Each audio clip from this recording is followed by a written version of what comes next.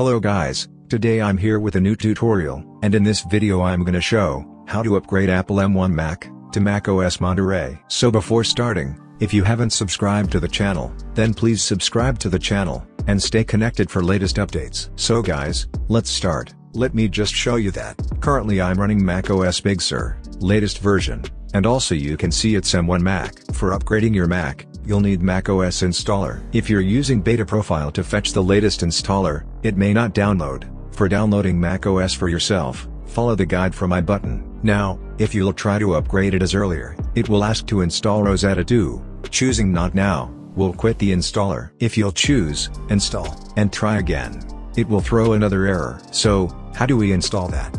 Well, that's easy. Open, Applications folder. Select Install macOS 12 Beta, and press right mouse button. Now click on Show Package Contents. Then Contents, and then macOS. Now, open Install Assistant, and installer will be launched.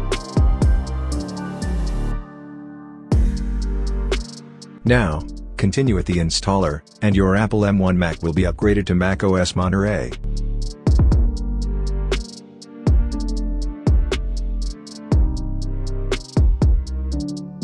Keep in mind that, your Mac will restart, ask you password several times, so, don't worry about that.